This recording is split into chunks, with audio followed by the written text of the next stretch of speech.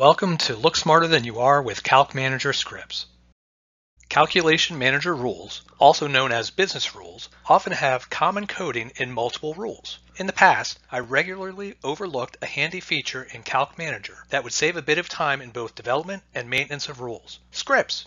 Put simply, if you have repeatable code that will be used in more than one rule, make a script for it. The script can then be inserted in any rule that needs that code. The script can also be used multiple times within the same rule. Scripts are useful for simple coding as well as more complex coding. Why retype or copy and paste the same code in multiple rules when it's so easy to insert a script? Imagine if you have five rules, each one with a simple aggregation at the end. Sure, it's just an aggregation, nothing complex, but why type the whole thing in each of the rules? What happens if after creating the five rules, it's determined that the aggregation needs to be changed? Instead of updating each rule, all you need to do is update the script. While this may not seem like a big deal, the aggregation code is only one line after all, but the more rules you have and the more complex the coding, it can really make a big difference in how fast and efficient development is, and how maintainable your rules can be.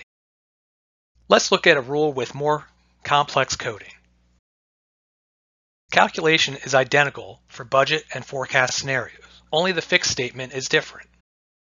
But the coding is over 900 lines. If something goes wrong in that code, it needs to be repaired in at least two rules. When the code is put into a script, that's the only place changes need to happen. How about another simple example? I know for me, most of my rules use a standard list of set commands. Why waste time typing this repetitive code into every rule when a script can be used?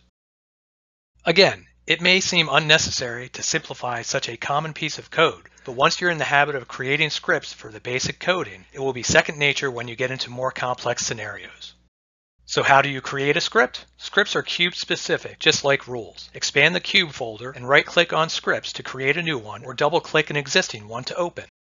When a rule is open, scripts can be found in the left-hand pane. Expand the scripts to see available objects and then drag it into the rule. Save the rule and deploy. Here's an important note. If a script is modified, all the rules that use that script have to be redeployed. This can be done from the script editor. Click on Usages. This will list all the rules that use the script. You can then validate and deploy right from here.